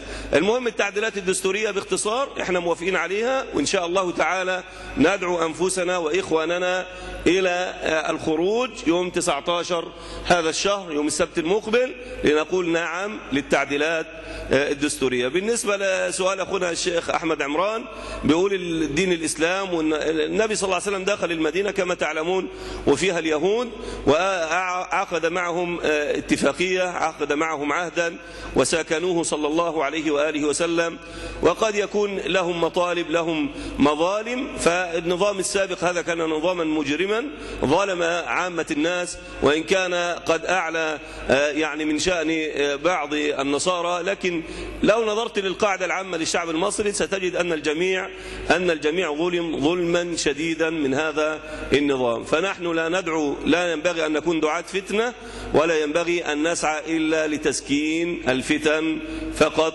فالفتنة نائمة. لعنة الله على من أيقظها. قولوا قولي هذا وأستغفر الله لي ولكم. جزا الله خيرا. شيخنا الدكتور محمد الإمام وجعله الله في موازين حسناته.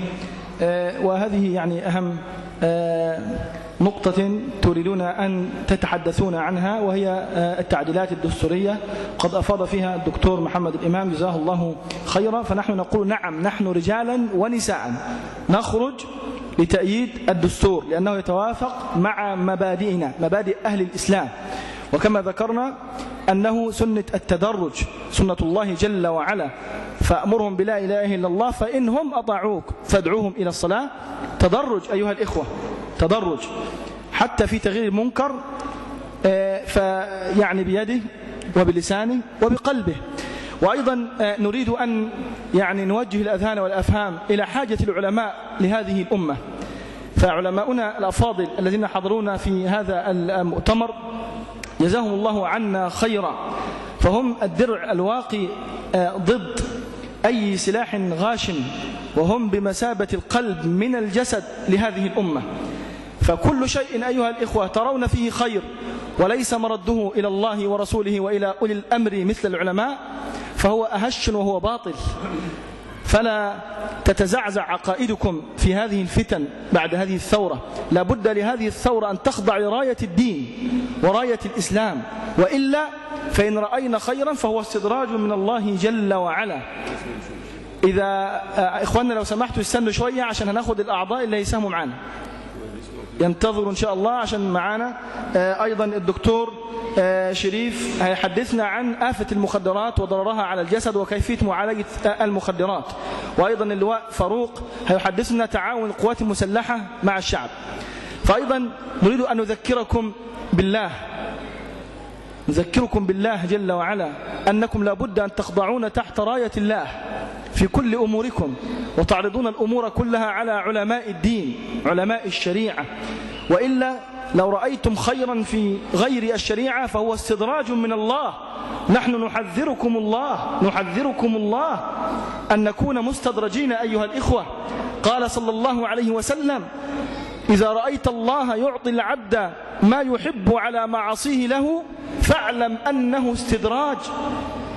كلا سنستدرجهم من حيث لا يعلمون وأملي لهم إن كيدي متين فلا فلاح ولا نجاح إلا تحت راية هذا الدين المتين وبما أننا تحدثنا عن آفة المخدرات فنحن لا يظن أبناؤنا أن نحن نحاربهم أنفسهم بل والله الذي لا إله غيره نحن أحرص عليهم من أنفسهم ونحن نمد لهم يد العون ونقول لهم تعالوا إلى هنا إلى هنا إلى المساجد حيث الرحمة حيث النجاح حيث الفلاح. تعالوا إلى هنا نمد إليكم يدي العون كما بين أخونا وشيخنا الدكتور محمد الإمام. أن هناك يعني صندوق يقام لتحقيق مصالح للتائبين من المخدرات.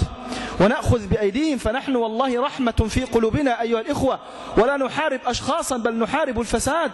وهم أبناؤنا وإخواننا وثمرات أفئدتنا ونور أبصارنا.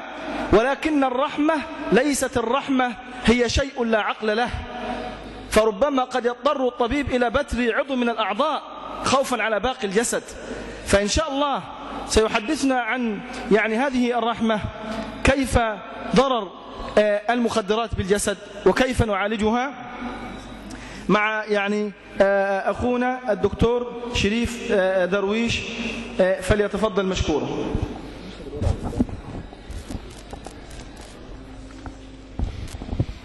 بسم الله الرحمن الرحيم. آه، أشكر آه، سيادتكم للدعوة وأرجو إن إحنا آه، أقدر أتواصل مع سيادتكم في إن إحنا نوصل مفهوم الإدمان ومفهوم علاج الإدمان بإذن الله بشكل واضح لل- للإخوة الحضور. أولا هو السؤال الأول بيطرح نفسه هل الإدمان هو آفة؟ هو قلة أدب هو خروج عن العرف هو خروج عن إيه بالظبط؟ بالنسبة لنا إحنا كأطباء إحنا بنعرف الإدمان إن هو مرض. مرض عضوي مرض اجتماعي مرض نفسي ومرض روحاني أو روحي. لأن هو بيأثر على كل ال- ال- المجالات دي. منظمة الصحة العالمية وضع الإدمان في نفس المكان اللي وضع فيه أمراض بشدة السرطان أو بشدة الإيدز إن ما كانش أكتر كمان. لأن تأثير الإدمان ما بيكونش على المريض فقط ولكن بيكون على المريض وأسرته ومجتمعه وجيرانه وفي الآخر وبلده طبعا. تأثير المخدرات على الجسم بيبدأ اللي إحنا كلنا بنشوفه هو الخسسان وهو آه، ضعف الجسد وهو آه، تأثير على الكبد تأثير على الكلى تأثير على النظر. لكن اللي أنا عايز ألفت يعني أكيد حضراتكم عارفين المعلومات دي لكن اللي أنا عايز ألفت نظركم ليه هو التأثير العضوي على العقل. بمعنى إن مع تعاطي المخدرات بفترات طويلة يحصل تغيير تشريحي في العقل. خلايا المخ نفسها بيتغير شكلها بيتغير وظائفها. في بعض الأوقات بشكل مستديم بشكل على طول فمثلا تعاطي الحشيش لفترات طويلة. ده بيخلي الإنسان ما عندوش دافعية ما عندهوش القدرة على إن هو يغير في حياته ما عندوش الرغبة إن هو يغير في حياته ما عندوش القدرة إن هو المثابرة وان هو الجلد في, في, في أي حاجة من حياتنا. والنجاح في الحياة ما بيحتاجش لذكاء وما بيحتاجش لإمكانيات على قد ما هو بيحتاج لمثابرة. من ينجحون هم المثابرون وليس الأذكياء. مواد زي مثلا ال ال الهيروين المنتشر دلوقتي جدا في, في بلدنا مواد زي ال- الأقراص المخدرة زي الترامادول ال- يطلق عليها الفراولة أو هتسمعوا حضراتكم الفراولة. الهيروين اللي هو البيسة اللي الناس كلها بتقول عليها كده على انها مش هيروين هو ده الهيروين. الحاجات دي غير أضرارها بأنها تصيب الإنسان بالأمراض زي التهاب الكبد الوبائي والإيدز والحاجات دي. ولكنها بتذهب العقل مش بالمعنى بتاع الخمر إن هو مش دريان باللي بيحصل دلوقتي لكن هو برضه بيبقى أكنه عايش بمبادئ وبأخلاقيات وبأفكار مختلفة عن حضراتكم أو عن الناس اللي ما بتشربش. وهنا أنا أحب أوجه رسالة لل- للإخوة اللي هيقوموا بدعوة هؤلاء لأن هم يحاولوا يجتذبوه أرجو مراعاة إن الراجل اللي قاعد قدامك ده هو ما بيفكرش بنفس الطريقة بتاعتك. لو أنت قلت له إن ده حلال وحرام هو ده هو ما بيستوعبوش. مش هو ما بيسمعش هو ما بيستوعبوش. هو ما بيقدرش يعني. إن إحنا مثلا في بعض الجوامع أنا كنت شفت بتطبع صور لناس ماتوا بسبب شرب المخدرات في في في, في قاذورات وكذا وكذا. الصورة دي بالنسبة للمدمن هو بيبعده عنك مش بيقربه يعني هو بينفر من مننا مش بيقرب لنا لو إحنا بندعوه بهذه الطريقة. فالطريقة ال- الأحسن للدعوة هي الترغيب وليس التنفير. إن أنت تاخده معاك. خده معاك يتحرك في أي حاجة يعمل معاك حاجة. آه، يشوف إن الحياة ليها طعم آخر غير طعم المخدرات. هو الراجل غير قابل إنه يصدق إن هو قادر على الاستمتاع بدون المخدر. مهما إحنا قلنا له حلفنا له وورينا له وقلنا له إحنا بنستمتع وبكده وإحنا بننبسط لما بنعمل كده هو مش هيصدق. هو محتاج إنه يجرب ده مرة واثنين وثلاثه لغايه وفي أول كام مرة مش هيستمتع برضه. لغاية لما التغيير العقلي اللي حصل في مخه ده يبدأ يستوعب إزاي يستمتع بالحاجة اللي أنا وحضراتكم نستمتع بيها. بشكل طبيعي هو لازم يتعلم إزاي يستمتع بيها من اول وجديد. علشان يبدأ يلاقي إن الحياة لها معنى آخر غير تعاطي المخدرات. ال- المدمن نفسه يشبه التعاطي المغناطيس كأنه المغناطيس اللي بيشده ناحية المخدر وناحية حياة المخدر. وحياة المخدرات هي مش بس أخذ المخدر وال... وال... إن هو يشرب وبس. هي هي مغامرة إحضار المخدر. ده بالنسبة له دي لوحدها هدف. إزاي هيعرف يكذب عشان يجيب فلوس؟ وإزاي هيعرف يروح مشوار آخر الدنيا علشان يعرف يجيب المادة المخدرة؟ وإزاي يعرف يلاقي مكان آمن يشرب فيه؟ والمشكلة اللي حصلت الفترة اللي فاتت مع بعد الثورة ووقت غياب الأمني إن بقى الناس بتشرب في الشارع. مفيش حد هيقول لها أنتوا بتعملوا إيه؟ وهنا تاني دور الإيجابية بتاعتنا الإيجابية بتاعت المسلمين في إن إحنا مش هن أنا ما بقولش إن إحنا نشوف حد بيعمل حاجة غلط هنضربه أو هن... هن... هنقيم عليه الحد في ساعتها لكن هندعوه ب... بهدوء. وفي نفس الوقت ما نوفرش المكان السهل للناس إنها تتعاطى. نسبة التعاطي الفترة اللي فاتت الشهر اللي فات زادت جدا آه، في البلد. آه، المخدرات رخصت جدا في البلد الفترة اللي فاتت. لأن ما فيش رقابة. خلاص اللي هي المخدرات كانت غالية علشان وجود الأمن والخطورة الأمنية بتاعتها. دلوقتي ما فيش الكلام ده. فالمخدرات رخصت جدا فبقى التعاطي أسهل وأسهل. فمهم حضراتكم لما هتحاولوا تعملوا ده هيبقى أصعب جدا الفترة الجاية. الجزء ال ال ال ده ده بخصوص الجزء النفسي إن إحنا آه نحاول نتفهم إن طريقة التفكير مختلفة. ونحاول نتفهم إن إحنا طريقتنا دائما تكون الترغيب وليس الترهيب. التهديدات لو انت هتقول له هتقتله لو عرفت ان هو شرب هو مش ما بيفرقش معاه هو مش فاهم ده هو مش مستوعب ده. الجزء الاجتماعي وهو إيجاد شغل للناس وإيجاد لهم وظائف وإيجاد لهم تدريبات وكذا أنا موافق جدا على ده بس لما يتع- يتعافى لما يقدر إن هو يخوض التجربة العلاجية بتاعته بنجاح. أنا متأكد إن الناس اللي قاعدة قدامي بتفكر إن ما هو المدمن هيفضل طول عمره مدمن. ده للأسف مش حقيقي. يعني مش للأسف طبعا هو الحمد لله ان هو مش حقيقي. لكن الحقيقي إن علاج الإدمان من أصعب المهمات ال- أو من أصعب ال- الحاجات اللي موجودة في الطب.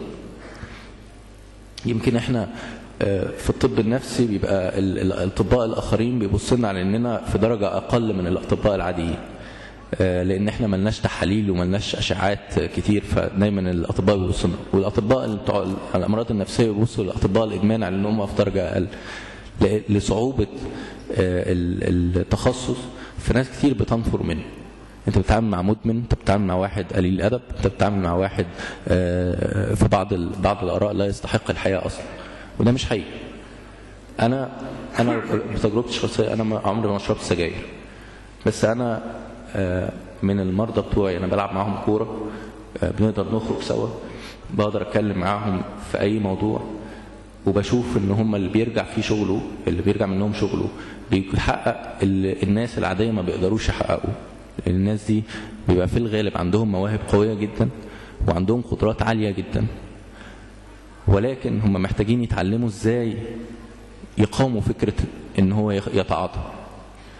دي لوحدها ما هياش إرادة وما هياش آه، عزيمة فقط. هي نظام هي طريقة علاج هي طريقة حياة لابد أن تتغير علشان يرجع هذا الشخص لحياته الطبيعية وحياته العادية اللي إحنا كلنا آه، عايزينها وعايشينها. فتفهم آه، ال- ال- العلاج للمريض هو العلاج بيجيب نتيجة هو مش سهل ولكن هو ما هواش العلاج مش إن إحنا نجوزه. فحاله هيتصلح العلاج مش إن هو يطلع عمرة أو حج فقط. العلاج مش إن هو يشتغل. العلاج مش إن هو آه، يقعد آه، في البيت ونحبسه في البيت شهر ولا اتنين. العلاج عملية أكثر تعقيدا من كده.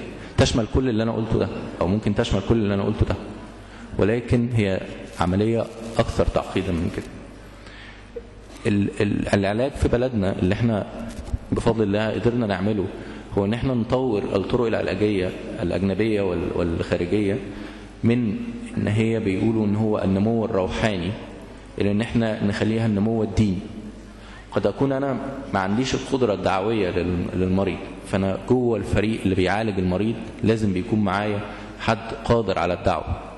زي ما لازم يكون مع الناس اللي بتوع الدعوة أطباء أو على الأقل أخصائيين نفسيين أو على الأقل بعض الناس اللي فاهمين في طبيعة المرض علشان يقدروا يتواصلوا مع المريض يقدروا يتواصلوا مع الشخص اللي إحنا عايزين نساعده إحنا مش عايزين نحكم عليه إحنا عايزين نساعده هو أخطأ وإحنا عارفين إن هو أخطأ وهو عارف هو أول واحد عارف إن هو أخطأ ولكن إحنا مش هدفنا إن إحنا نحاكمه أو إن إحنا نعنفه. إحنا هدفنا إن إحنا نساعده ونتحمله في انتكاساته مرة واثنين وثلاثة لغاية لما يقدر يشوف الطريقة الصح اللي يقدر يكمل بيها حياته.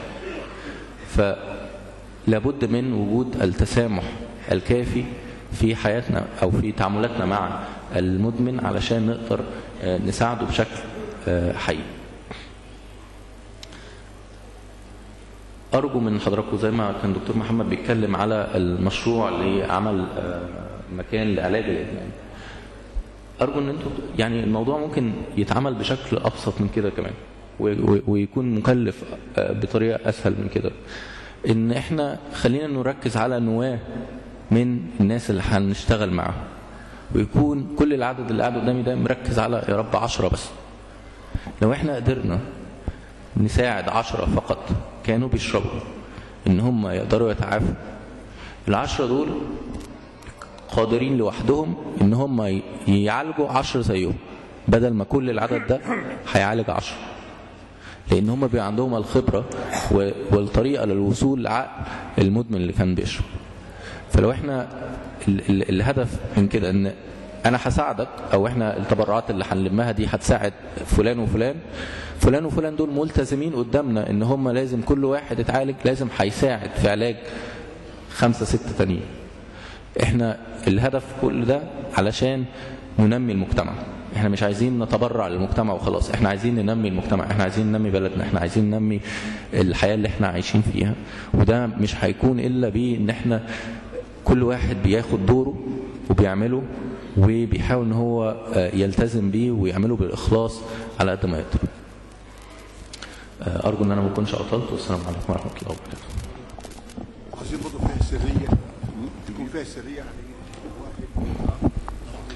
آه، جزا الله خيرا. الدكتور شريف درويش استشاري علاج الإدمان والصحة النفسية بمستشفى الطب النفسي بالمعمورة.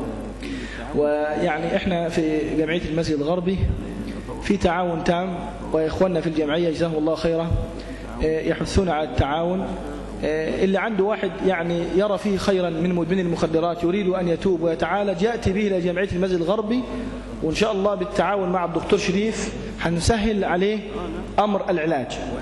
يعني بس هو يأتي إلينا ونحن نيسر عليه أمر العلاج ولا نكلفه شيء إن شاء الله تعالى ما استطعنا. فاللي عنده أي واحد يدعوه إلى التوبة يتوسم فيه الخير العلاج يأتي به لجمعية المسجد الغربي ويتعاون معنا الدكتور شريف إن شاء الله في العلاج. ومعنا آه، اللواء آه، فاروق بهنسي رئيس مجلس مدينة ضباط توسن. هيحدثنا آه، يعني عن تعاون الجيش مع الشعب وهو جزاه الله خيرا القناة بيننا وبين الجيش. فليتفضل مشكورا بسم الله الرحمن بسم الله الرحمن الرحيم. الحمد لله رب العالمين والصلاة والسلام على أشرف المرسلين.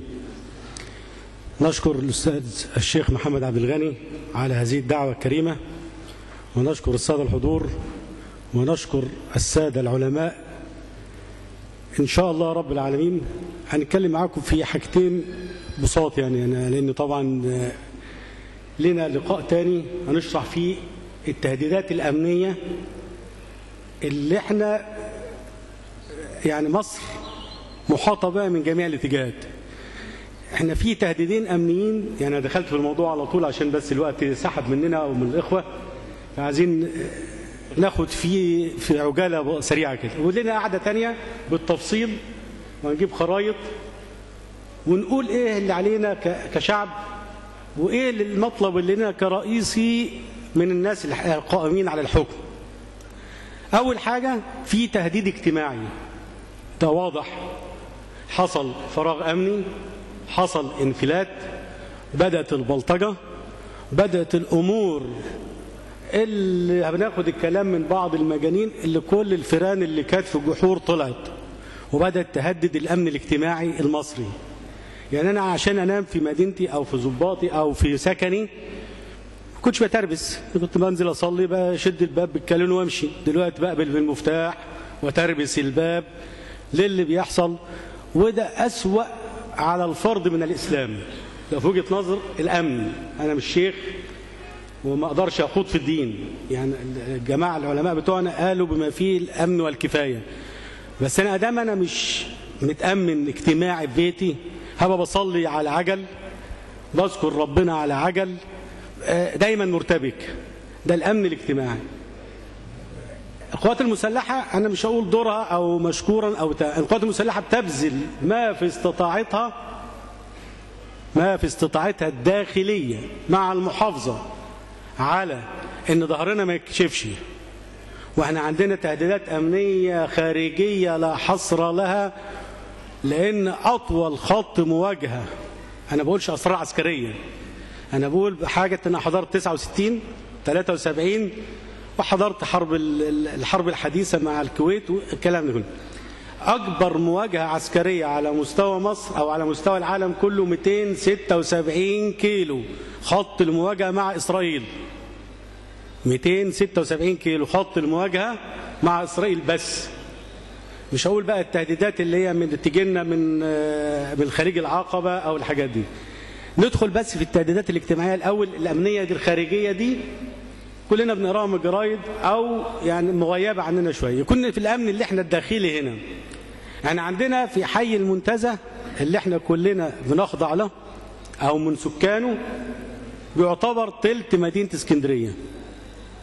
في أربع أقسام 37 نقطة شرطة على مستوى الحي. أربع أقسام مغيبين 37 نقطة شرطة مغيبة. الف- الانفلات الأمني أو الناس دي اختفت ليه؟ ده مننا. يعني مش مننا إحنا كأشخاص. يعني دول ظباطنا واولادنا وإخواتنا وكل قصة فيها واضحة. في خروج على الشرعية سابقة أو في خروج على الأمن العام للناس أو تطاول أو أو خلافه بس إحنا لازم ده من وجهة نظر برضه القوات المسلحه نسعى جاهدين. إحنا رحنا أنا وبعض الإخوة على الشيخ عطية راح معانا وفي بعض الناس راحت. ورحنا قابلنا مدير الأمن الجديد. ناس متفاهمة. ناس عاوزة تنزل. بس عايزين نعمل لهم مؤتمر زي اللي إحنا عملناه ده ندعوهم فيهم. نقول لهم إحنا عايزين إيه منهم؟ وهم عايزين إيه مننا؟ عشان نقدر نفعل الكم المهول ده عشان كل واحد بقى بتاع الدعوة يتفرغ للدعوة بتاع الشغل كل واحد له أعماله الخاصة يتفرغ لأعماله الخاصة. على ما نقوم هذا الموضوع أو نمشيه أو نعجله هنحتاج للي قالته الجمعيه بتاعة المسجد الجامع الغربي إن إحنا نعمل آه، شباب يرجع تاني زي آخر أو أول أسبوع في شهر فبراير. كان في توعية جامدة عالية جدا. أنا كنت واحد من الناس كنت بقى فتش هنا في المعمورة مرة واثنين وثلاثة. إيه فتش حضرتك اتفضل يا ابني. وباجي بالليل أنا ليا شغل بخلص الساعة 2 و3 بالليل وبرجع من شغلي اتفضل يا ابني فتش العربيه ده أنا مش ورايا حاجة عربيتي سليمة وأنا سليم. رخصتك أهو. ما فيش حد الحمد لله يعني بقول لك طلب مني بطاقتي بس هو كان يقول ما كانتش العربية فتش العربية رخصة العربية رخصة العربية رخصة القيادة رخصة القيادة. ده ده إجراءات برضه عايزين نوعي الناس فيها إنها ما تنفلتش فيها يعني أو ما تزعلش من شدية الشباب أو عنفوان الشباب في هذا الموضوع. بس لازم يتفعل الموضوع ده علشان نقدر نحافظ على الأمن الاجتماعي إن أنا أنام في بيتي وأنا مطمن إن عندي ناس قاعدة بره سهرانة هتحمي لي موقفي الخارجي. مش هبقى قاعد نايم أو خارج الجامع وأنا شاكك ان ما قفلتش الباب كويس بالصلاه مش نافعة. ده أنا قفلت قفلة ولا اتنين وهكذا.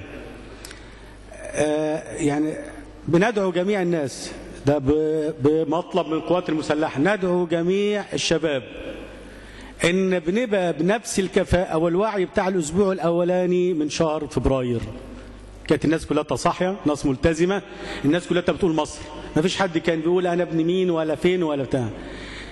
آه، الرجاء الثاني اللي إحنا عايزين نعدله قريب برضه بالتعاون مع الجمعية ومع الناس الأهل الصفوة في في مدينة المعمورة أو في حي المعمورة والحي المنتزه بالكامل اللي له اصحاب اليوم ان نمد يد العون والصفا حتى نعيد تشغيل الأربع أقسام لأن إسكندرية اللي هيطلع فيها مدارس. يعني الناس اللي برضه مش سر إن دلوقتي عندنا في 10 محافظين مقدمين استقالات منهم بتاع إسكندرية مشي. جميع الأعمال الإدارية موقوفة. مفيش حد هيدي قرار ترجع المدرسة على مسؤولية الشباب أو على مسؤولية الجامع الغربي أو على مسؤولية مجموعة المساجد اللي موجودة. هترجع المدارس وترجع الدراسة تنتظم ويبقى في جدية لو في أمن بأسلوب جديد أو أسلوب حضاري. اللي إحنا لمسناه برضو دي بنقلها لحضراتكم. ان إحنا لمسناه مع التواجد مع السيد مدير الامن الجديد إن الناس بدأت تتفاهم جدا والناس عندها استعداد تبذل كل ما في طاقتها للمصالحة مع الشعب بس برضو لازم اللي نازل ده ابنك لازم تحس ان اللي نازل ده في الشارع ده ابنك واخوك ما تستهنش بيه وما تهزقهوش خليه يقدم مهمته. ولما يحصل فيه تجاوز إحنا موجودين أو الناس موجودة. يكون دلوقتي إحنا حملنا القوات المسلحة مش دفاع برضو عنها فوق طاقتها الخيالية. دلوقتي اتنين اتخانقوا اجري بالقوات المسلحه عربيه اتنين اتخانقوا مش هيعمل. ظهرنا انكشف. والشيخ محمد أو الدكتور محمد إمام قال جماعة الليبرالي- الليبراليين أو ما اللي بيحبوش البلد نفسهم في الفلات الأمن ده سنة كاملة. سنة كاملة. يقول لك إيه خلي الجيش قاعد. طب ما أنا الجيش قاعد ضيع تدريب العسكري والضابط والصف ضابط وكل والمعدة. المعدة لو بعدت عن الأرض بتاعتها بتبوظ. إحنا معدتنا شغالة في الجبل هجيبها على الأسفلت مش نافعة. لو الأرض العسكري لو ما اتمرطش في الرملة والتراب مش هينفع مش هيعرف مين سينا. إحنا كنا بنمشي مش يعني ما نحكيش على الماضي. الناس لازم تعرف لازم يشوف لازم نقول له ده محور كذا وده محور كذا ادخل هنا. إحنا في خطر الليبراليين عملوه وده للاسف اتفرض أمر واقع إن جميع معتقلين السياسيين خرجوا. جميع المعت... الأحكام الغيابية هتسقط. وده مش في مصالح الأمن الاجتماعي في مصر. بس طبعا في ضغوط نفسية إن أنا مفيش أمن داخلي يحافظ عليا مفيش أمن داخلي يساعدني. الكلام بتاعها هيبقى تقيل شوية في الأمن. أنا بتكلم عليه لأن أنا حاسس مشكله البلد. هيبقى تقيل شوية بس نستحمله ونصاب في النفوس. أنا يعني أزمة ولازم تعدي لازم. يعني مش هنجيب ضباط أمن وعساكر أمن من خارج مصر. مش هنجيب ضباط أمن وعساكر أمن وعساكر مرور من خارج مصر. ما اللي كان بيتعمل فيا كان بيتعمل فيك. إيه فات رخصتك الكلبش العربيه التجاوزات في كل حتة. بس الناس فعلا ناويه تعيش حياة كريمة تبقى كويسة بالمساعدة.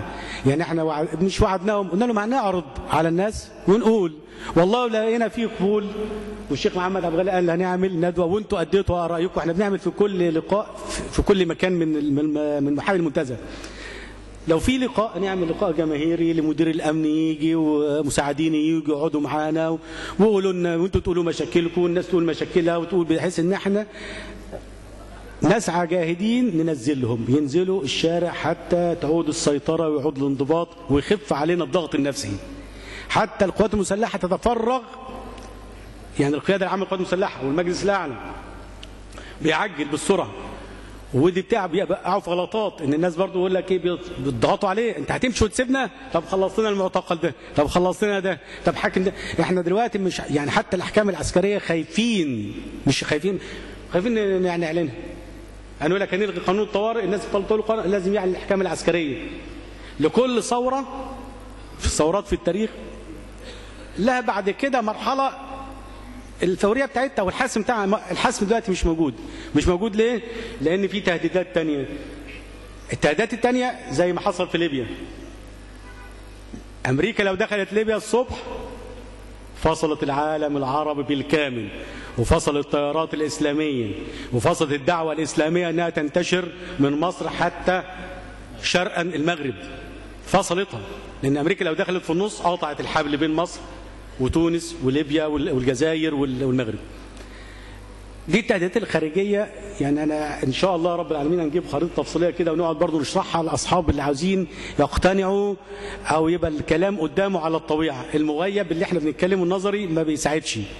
هو الرجاء أي مطالب من الجهات الأمنية تتعرض عند. عند جمعية وإحنا بناخدها بدورنا بنعرضها ونوعدكم بأن نقدر نجيب الناس دي كويس ويقعدوا ولما يبقى أعلى قيادات في وزارة الداخلية قاعدة معانا هنا مش آه، كسر رقبة أو لوي دراع أو بتاع لا ده إحنا بنقول وهم بيقولوا لنا ولهم بحيث إن نقدر نعيش حياة آمنة مستقرة وأشكركم جميعا على حسن الاستماع وأي استفسارات تبقى مع الجمعية إن شاء الله رب العالمين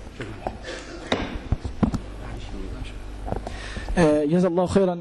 آه، اللواء فاروق وهناسي رئيس مجلس مدينة ضباط تسن ولعله قد أشار يعني إلى عناصر مهمة ونقاط مهمة وأهمها نقطة الأمان وهو الذي من أجله قد عقد هذا المؤتمر.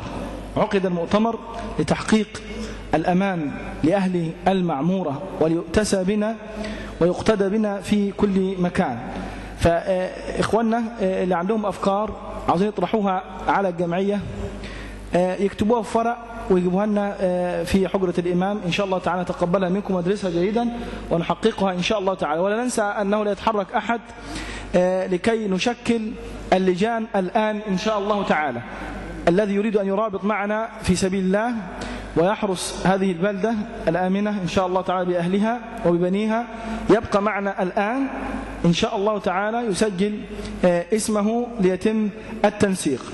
ونحذر كل من يعمل آه، في يعني آه، لجان شعبية من غير أن يتوافق معنا ويأتي إلى جمعية المسجد الغربي. لأنه لئلا يعبس أحد في الظلام اللي معاه الشارة اللي تحدثنا عنها مختومة بختم الجمعية يبقى هو ده الذي نعطيه الأمان. أما واحد يعمل شرع مع نفسه ويعبث في الظلام كذئاب الليل فهذا نحذر منه تماما وهو من يعني السلبيات التي قد حدثت في الماضي. فيا اخواننا ما ينفعش حد ابدا يقوم بحراسة في البلد ولا شيء إلا عندما يأتي إلى الجمعية يأخذ شارة مختومة بختم جمعية آه، المسجد آه، الغربي. وتبقوا معنا إن شاء الله تعالى الآن لتنظيم آه، جمعيات الحماية. والشيخ آه، يحدثكم الشهداء عشان ما آخر حاجة بس أأكد على يعني أمرين اللي هو فاروق ذكرني بموضوع. الأمر الأول هو بالنسبة لإخواننا الفضلاء وجهاء البلد الكبار سجلوا أسمائهم لدى الشيخ محمد والمهندس جابر علشان يتناوبوا في نوبات حراسة جوه المكتب.